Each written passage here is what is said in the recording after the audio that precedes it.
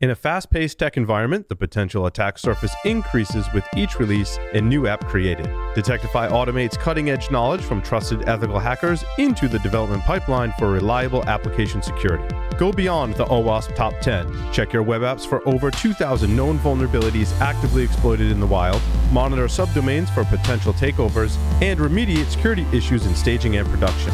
Learn more with a free trial at securityweekly.com forward slash detectify. Go hack yourself.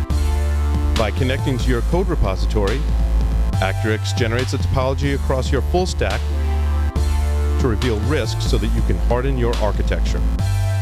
It also scans code for violations against compliance and security standards to enforce best practices. In addition, Accurics develops threat models using vulnerability feeds, IAM privileges, and other data to predict potential breach paths. Learn how easy it is to get started with Accurics at securityweekly.com forward slash Accurics. Application security is hard when security is separated from your DevOps workflow. Security has traditionally been the final hurdle in the development lifecycle. Iterative development workflows can make security a release bottleneck. With GitLab, security is built into the CI CD process. Every code commit is automatically scanned for security vulnerabilities in your code and its dependencies. Results are delivered to the developer in their native workflow for rapid remediation. Learn how GitLab enables DevSecOps. Visit securityweekly.com forward slash GitLab for a 30 day free trial. Welcome back to Application Security Weekly. I'm your host, Mike Shema, joined by Matt Alderman and John Kinsella. Would you like to have all of your favorite Security Weekly content at your fingertips? Do you want to hear from Sam and Andrea when we have upcoming webcasts and technical trainings? Have a question for one of our illustrious hosts, someone from the Security Weekly team, or wish you could hang with the Security Weekly crew and community? Subscribe on your favorite podcast catcher, sign up for our mailing list, and join our Discord server to stay in the loop on all things Security Weekly, as well as chat with us when we do these live streams. Visit securityweekly.com slash subscribe. It's official. Security Weekly, in partnership with Cyber Risk Alliance, is excited to present Security Weekly Unlocked on December 10th, 2020. The inaugural edition of Security Weekly Unlocked also celebrates Security Weekly's 15th anniversary. Registration and call for speakers is now open. Deadline for CFP, though, is October 15th, so just a few days from now. So get your submissions in. Visit securityweekly.com slash unlocked to submit your speaking session and register for free. And now we dive into the news. And yes, we do have in a uh, going to have to um, get our George Takei voice in here and say we go from an IoT to an I oh my on this particular uh, first topic. John, you flagged this. Do you want to uh, start us off here? uh, yeah, I have to expect this one to make it through. So, um, yeah, I'll start off talking here about uh, you know, Reddips had mentioned angle grinder and emergency room are cool. You know, that's we we don't get to see that very often in our our, our security, especially the application security world. Uh, except when that write up also mentioned sex toys. So uh, this was fairly popular last week. There's a um, a toy out there, and you know, to preface all this, we're not here to kick shame or, or talk about that aspect of things. It's a little bit of funny haha, but still, it's it's a practical, real world thing. Um, but there's a toy out there that that uh, it's Bluetooth LE as well as it's internet connected, so that you know you and your partner could uh, um, you know uh, have some have locking fun. I will say. Uh, people can go and find out the details if they want to, but it turns out, as with most these IoT type things, there's pretty much absolutely no security being thought about in it. Um, so while it's like I said, it's something that's getting a lot of attention. I think we can bring that back into our AppSec world and think about um, how do we actually use this to have conversations? Maybe a little bit more difficult to have conversations with this particular thing in the workplace, but still, it's something you know a chance to take something that's public and getting a lot of attention and a lot of funny haha. And and how do you actually you know go, hey, is maybe we have this in our product, or is there something we're using that might have something similar?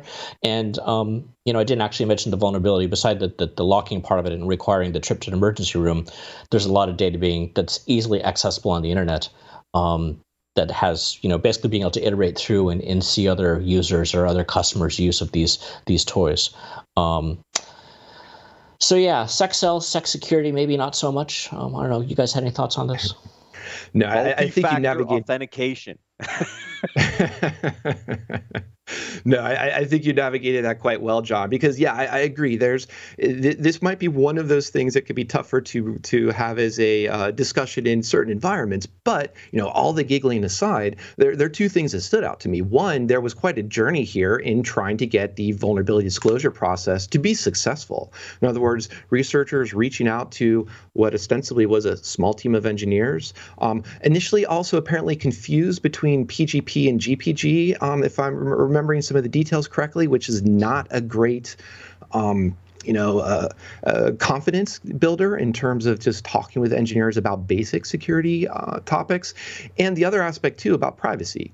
A lot of IoT devices um, can, are in our speakers, they're in these types of very personal toys that are collecting uh, that they either have personal data or just the possession of them may be potentially embarrassing or just very personal. So it, it, i think it does unlock a lot of these things if we start to say we're going to have 5g everywhere so every iot device can have its ipv6 um, uh, address and everything is this broad baseband communication just what are the devices talking? What are the devices leaking? And are we looking at them and securing them equally throughout the spectrum? So that, that was one, some of the reasons I, I did think it was worth bringing this in, just to point out that we're not just talking about speakers or, or things like that when we talk about IoT and smart fridges, whatever that might be. Yeah, this will literally leave you in a pinch. there we go. Then, speaking of vulnerability disclosure, that does lead us into Facebook. Was uh, recently this week talked about trying to sweeten the pot or add incentives for people to join and maintain a, a loyalty program, if you will, and a bounty program. And I thought this wasn't quite so interesting, perhaps specifically to Facebook, but it does make me wonder more generally about companies organizing bounty programs. At what point do you get to, or when, when do you get to the point where participation starts to trail off, or you're starting to hmm. just deal with a lot of very simple ah, well, if the planet's aligned and this happened and a user clicked through three security warnings, then they could launch this self reflected cross site scripting versus here's a pretty consequential lock-in type of vulnerability that we were just talking about. So I think that's one of the reasons that stood out to me is that companies companies are still exploring how to make bounty programs work for them over the long term. I'm glad you got this one here. I only saw it this morning, so I, I didn't see it soon enough to put it into the the, the feed. I, I, try not to bombard us with stuff the morning of. Um, interesting idea. The ability to say, um, you know, it's it's basically sort of a, a bounty program. It reminds it's sort of gamification of, of the the overall um, process. Uh, I hadn't thought about it from that particular aspect of as people get bored. I don't know. Do do bounty hunters get bored? I, I, mean, I guess at some point you go and look into another tool if you're if you're not getting return on investment, so to speak. Mm-hmm. Um, I, the the loyalty aspect of this made me cringe a little bit uh, from a point of view, and, and again, that's probably a loaded word, but from the point of view of is is this making the um, the playing field unlevel to folks that are entering that bounty space? What, it, what I the the first thought I had here is this is a frequent hacker program, right? That's basically what you're building here, and it's interesting when you think about it from a the more you hack, the more uh, bounties you get. You move up in these different levels. There's five levels, but the interesting part is they pay you a bonus based on your level, which is interesting because think about this from a monetization perspective for a second. If I'm a hacker and there's a bunch of bugs that I that I get and the in either the bug bounties prices aren't going up or people aren't get you know you can't find the bugs or whatever, you know there's a there's a monetary incentive here. It says, oh, maybe I'll go work on something else. But if you keep the bounties at a good level and you're offering some bonuses because you've been this frequent hacker in the program, I mean, there might be some monetization benefits here in this kind of program, which is, is what I thought was interesting in the article. Yeah, I, I, do like at least that they are going for money because that's one of the, the tough things about bug bounties is that you can spend a lot of time, but if that report that you submit comes back as a duplicate, so because someone beat you to the punch, that was a lot of your time spent for no reward. So rather than sending out T-shirts, um, you can get a bonus from I think it was anywhere from five percent to twenty percent, depending on the level of of your um, relationship within the league, as they're calling it, which was kind of funny. Um, but also apparently get an Oculus 2 out of it, and that also kind of raised my interest, both in the sense of there's a barrier to entry for a lot of the hardware-based kind of bug bounties that not everybody wants to shell out the money for an Oculus headset to maybe or maybe not find a vulnerability in it. So it's kind of a good way to use this is to, to, to identify who are the researchers that find good quality reports, who are the researchers that talk with us quite a bit and are probably then going to be spending some time looking at some of the hardware we'll send them with, with an Oculus, things like that. So it seems like a, it seems like a good investment because as we're talking about the last couple weeks, how do you spend fifty thousand dollars? You could spend it on the, the the bounties you pay out for Chrome. We talked about a couple weeks ago. You could pay, spend, pay it out for GCP compute resources to run some fuzzing, or in this case, put that into some bonuses for your loyalty program for your bug bounty uh, researchers.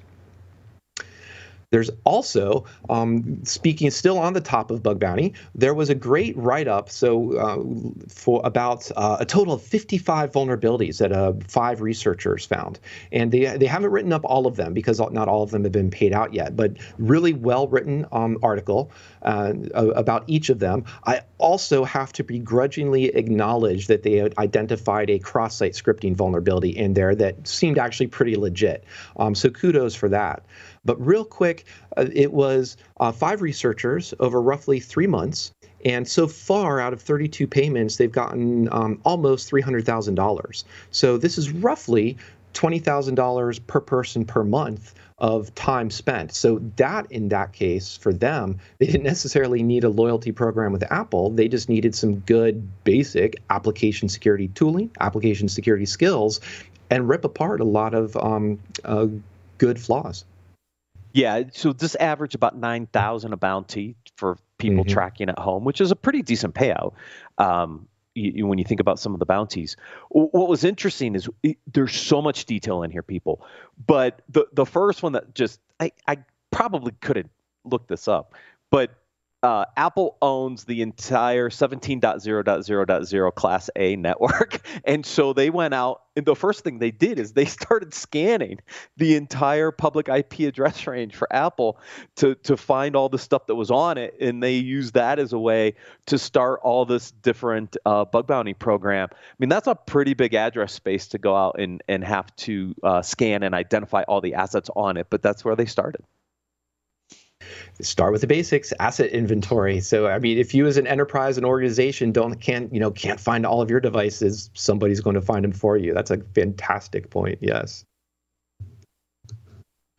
um, and so I don't. So again, I'll just re- repeat. Go, go read through the, the that write up. It's a great way to learn about also just kind of the the thought model, of the approach of um, we have company, Apple, what do we do? And start pulling apart um, a, a, lot of the, the applications and figuring out the steps through the how to get a vulnerability to actually work. And that was one of the things about the um, what they call the, the wormable stored cross-site scripting, playing with a style tag and trying to figure out how to get a script tag through what looked like either uh, regex part regex uh, pattern matches or weak parsers and getting and, and, getting to an exploit, which also was um, tied nicely with another a, little bit older um, article from uh, portswigger.net that was posted about uh, what was called a redefining impossible cross-site scripting without arbitrary JavaScript, and this again, um, it, it, was a little bit, I, I, won't say, I was about to say contrived, but this is a little bit more of a um, uh, non-standard scenario in the sense that it was a CTF, but it was saying you have a limited number of characters, go forth and conquer. And there was a lot of ingenuity here that the, the researcher, again, great write-up to read through how they manipulated the JavaScript string object and then got into a lot of combining side channel and timing and leveraging Oracle. So there's actually, rather than just talking about cross-site scripting, expanded into some corners of JavaScript, which is always smart to do, as well as some other interesting security topics. So I definitely wanted to um, highlight that. And I think this also caught your eye, John. So I'm not sure if there's something you want to add there. Yeah, there was a bunch of good stuff around it. Um, so you know, Portswigger are amazing as always. They have um, a, a, a, lab uh, looking for um, or sort of giving people this chance it's creating the the the, the contriving the, the, where this came from, I guess, to use mm-hmm. uh, a phrase of unexploitable cross-site scripting. Um, this is it's it's not a long read the what we've posted itself, but it's really fun to see how do you, you know, if it's I think this is what really lights up a lot of us when we think about um, uh, penetration testing or hacking in any of these forms is like you've you've got a puzzle. How do you solve this? And like in this particular case, you've been given a fairly uh, um, tight box. Cross-site scripting frequently you've got a, a, fairly small little window to work in to try and get your payload through. Um, and this one they've made it even tighter still. So I think it's it's a fun read. Um, but also what I was just browsing. I hadn't looked at before because like I think cross-site scripting and I think the old RSnake cheat sheet um, mm-hmm. and uh, the one that Portswigger has is actually pretty cool. So they've broken down um, through the event handlers what browsers they work in, code samples. It's actually a pretty neat cheat sheet. If I was doing a, a pen test in the morning, I might have to go back and, and take a read through this. Yeah, so it's a great way. And for me, what, what stands out here is just a lot of the cleverness of understanding your language environment, um, seeing that the, the Windows stop uh, method, as well as getting into the string prototypes. And for me, it also, the, the way I would sort of turn this into a conversation with a development team is is, is that uh, pointed question of why would you try and then start denying have deny lists around particular cross-site scripting payloads and instead just dive in because there's a lot of parsing that can happen. There's a lot of javascript nuances that can happen within the, pro- the, the prototype based language. There's a lot of weird methods you might not even be aware of. So it's definitely going to have to take a rethink in what your security model is or how you're going to approach that. Um, and that or also to go ahead. Also i think it's it's a good example to to use you know as you like to usually say use the frameworks. You know don't try and create i think when the, the course examples in here it shows you if you want to try and whitelist the stuff yourself super difficult you know it's because there's always someone looking to build a better mousetrap. So use a framework that's out there that that's hopefully been coded to to you know protect against this type of stuff yeah. Indeed. I, and, what, I, I, just I like the thought process here, right? Of how he mm-hmm. thought about this attack. I mean, if you really want to get into the mind of hackers and and really kind of understand how they think through a problem and the different things they try, and then well, that didn't work. Let me go try this. It's just a great. He just lays out kind of his whole thought process. I thought it was interesting to see, you know, where he got stopped, what he tried, other research he did and said, "Well, let me try this," right? And boom, there you go, right? It just it, just a, a interesting way to kind of be in the mind of a hacker. Absolutely. So, yeah, it's a great way to see that sort of threat modeling discussion and start saying, well, here's some assumptions. If I if I only have quotes in uppercase A through uh, upper and lowercase A through Z and zero through nine, I don't have any angle brackets. I'm not going to be able to do anything with my intrinsic events and so on. So, great way to highlight different different ways of thinking. We also had some um, different ways of thinking in uh, some other vulnerabilities that again nice write-ups. So we're always on the lookout for good write-ups that are educational. In this case, it was a um, RCE into a Fortinet's in, into a SIEM. So one of my first re- reactions here was just sort of that reminder that for as much as we call them the security team, that so the sec and DevSecOps, if you will, any tooling we're adding, anything that we're adding is technically increasing the attack surface of our organization. So as we do increase that attack surface, we need to make sure that we're not also introducing flaws. And we saw this uh, just in the previous uh, article about VPNs that were discovered on Apple, as well as plenty of VPN vulnerabilities that we've we've seen over this past year, um, as well as this case, uh, this particular SIEM.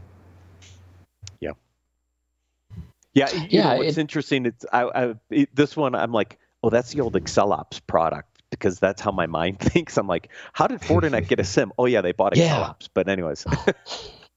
uh, it's funny. I was I had that same thought. I hadn't tracked down where it came from yet, but um, Yeah, uh, and you know, se- security tools, and I know a SIEM's a tough one, right? Because you have all these inputs and outputs, and that's really its job is is to sort of act as the blender to make these things um, give you a nice, tasty beverage.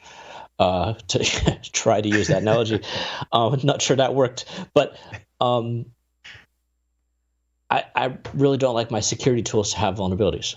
Um, and and this wasn't directly in them, right? It was in a library they're using. Here I go. I was talking about libraries being good. Here's a bad library. Um, and it's not the last one we're going to talk about today, but nope. It, yeah. the next one is kind of fun too. yeah. Yeah, I, you, you set it up, John. Take it away. Yeah. Well, can I just can I just read Uh-oh. this one line, please? Using an old installation framework equals DLL hijacking. Enough said. Yeah.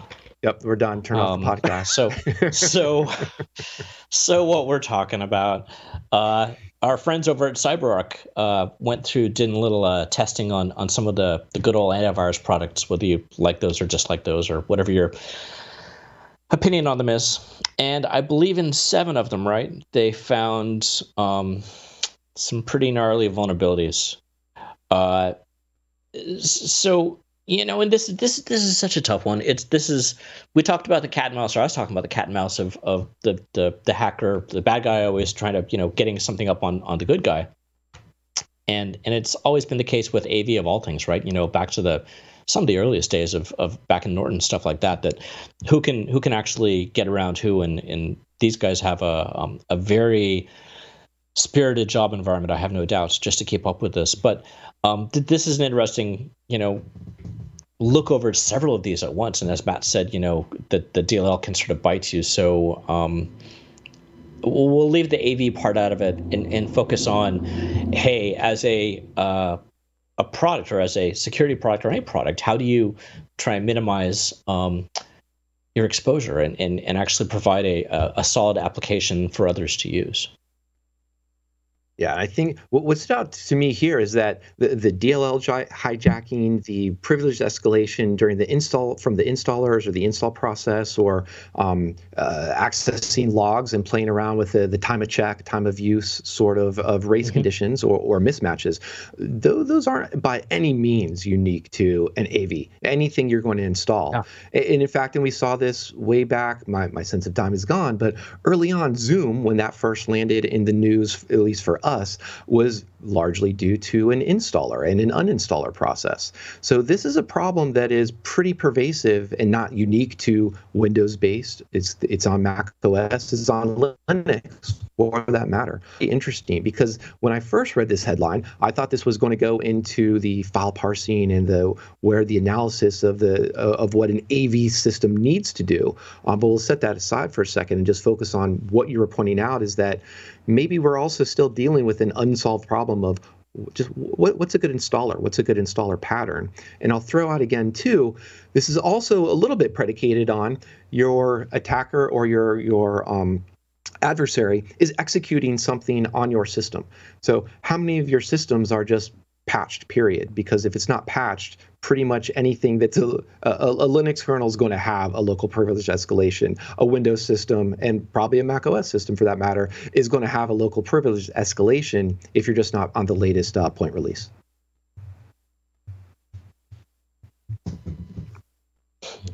Yep Yep. Uh, yeah. So yeah, the the, the the, the silence there was Matt and uh, John going back and checking their updates on um on their their laptops. So that, no, that that's I a checked mine before the show to make sure it didn't need to be rebooted.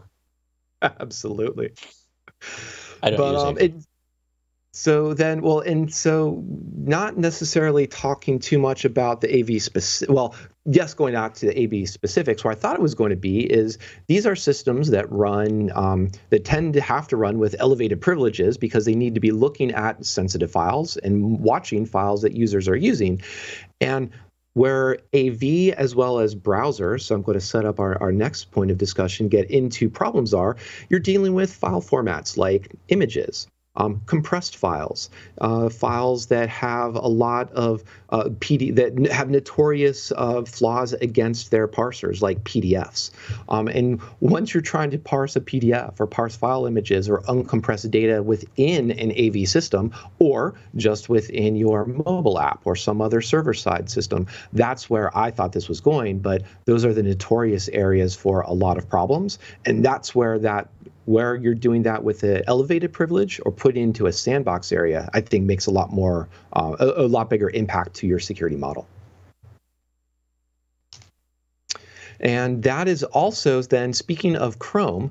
So Chrome, um, I know we we talked about vulnerabilities um, from almost start to almost finish. I also wanted to just throw this particular article here about Chrome's um, cache handling and what they've done differently, just to give us that, that perspective that security isn't just about finding the flaws and fixing them. Security can also come from improving architectures. And in this case, Chrome is changing its cache partitioning um, more so to prevent kind of a like privacy and information leaks that can come out of, of the browser. So I thought it was pretty interesting that um, they've been experimenting with this. And now, um, just this month, the latest release, uh, Chrome 86, um, has this new cache partitioning system that basically puts into different buckets the way that a site is handling the, or the way that the data is handled for a top level site domain the URL that the the specific URL that a user has visited, and also they're adding the current frame that the user is interacting with. And those three combinations are pretty good in terms of killing off what have been some cross-site search or some cross boundary cross frame type of information attacks or oracles if we're talking back to that uh, cross site scripting from Portswigger. So let's just hope this isn't stored in a directory and they have a directory traversal error to No, be able to reconstruct it. So I'm waiting for that vulnerability just for you, Mike. It's funny you say that because there were there were some other things that this release did turn on. Um, they also enabled the the native file system API. Now it's it's, it's intended as a developer tool um, that basically gives web apps the the ability to interact with files on the local device. And as they describe it, it's intended to build interactive apps like IDEs or photo and video editors. Basically, they're saying we're turning Chrome into yet another Electron app um, which Electron, you know, has V8 on the inside anyway.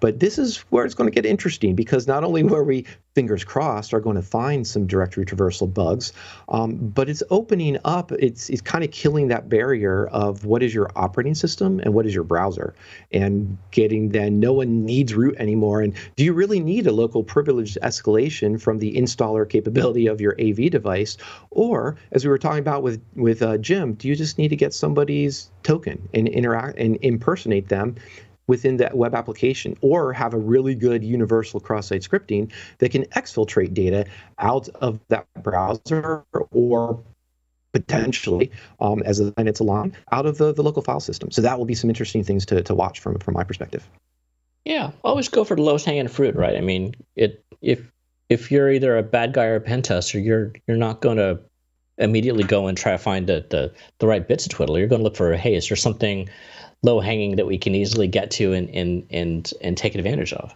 Um, I, I think what's interesting about some of these is is if if you don't go to the effort to try and find the more advanced stuff. I mean, sometimes you'll you'll um, I'll I'll say stumble. I think that's accurate. You'll stumble over some of the basic ones along the way. Uh, this this one's interesting. You know, it's, we always like to see if we can persist an attack. That's that's hugely helpful.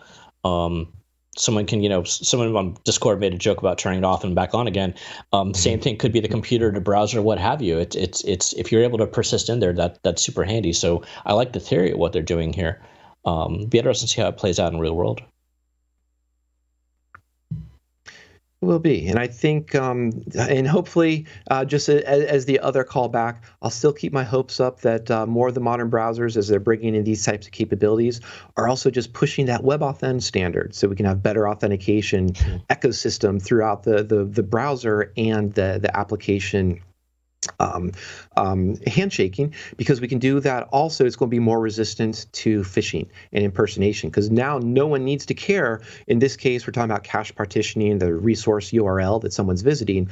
Nobody needs to care about what that particular url is or need to manually inspect it to say is this really so in securityweekly.com or is there some fancy homograph attack or is there then something else that's that's doing some manipulation to to fool the the human end user? So fingers crossed that, that there'd be something positive that comes out of all these things And I think, unless, so we can actually end on a positive note here, or at least an optimistic one, unless uh, Matt or John, there's anything you wanted to, to, to note about the upcoming week or reminders about that, uh, the CFP for the Security Weekly Unlocked. So, call for papers, 37 submitted for I think about 12 to 15 slots. So, we've got great uh, speaker sessions coming in. We'll keep it open until the end of the week. Uh, we've got we're going to finalize those on Friday this week. Set the agenda for unlock. So uh, a lot of great submissions already. Still a few days left to get them in, and then we're going to lock this agenda and go.